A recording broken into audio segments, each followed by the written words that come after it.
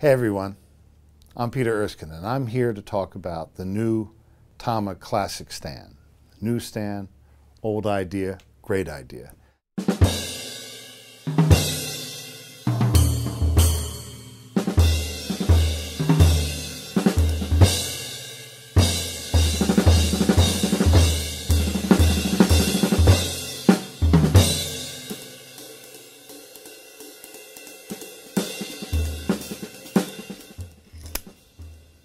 There's a completely satisfying sense of, wow, that's just so right.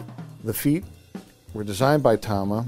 In the old days, they kind of took a, a, a, were putting a round, a square peg into a round hole. Um, so these are designed specifically for this stand. Also the wing nuts uh, aren't something you find in a hardware store. These are very satisfying, strong, stable. The tilter, teeth. One thing these stands used to do is they used to rattle.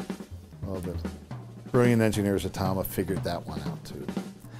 So for all intents and purposes, and certainly for all appearances, this is the classic stand.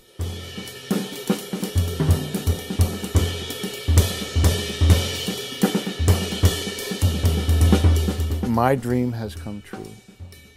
I now have an instrument. I got to tell you, every time I play it, it's like Christmas morning so much fun, so rewarding, and now I've got the hardware to go with it. Tama understood the passion. They listen to their artist. They know what it is that makes us tick. And the engineers know how to take an idea, whether it's an abstract or very specific concrete kind of thing, and turn it into reality. So it's not just a replica, it's a recreation uh, that goes beyond uh, my wildest dreams and hopes of what this stand could be.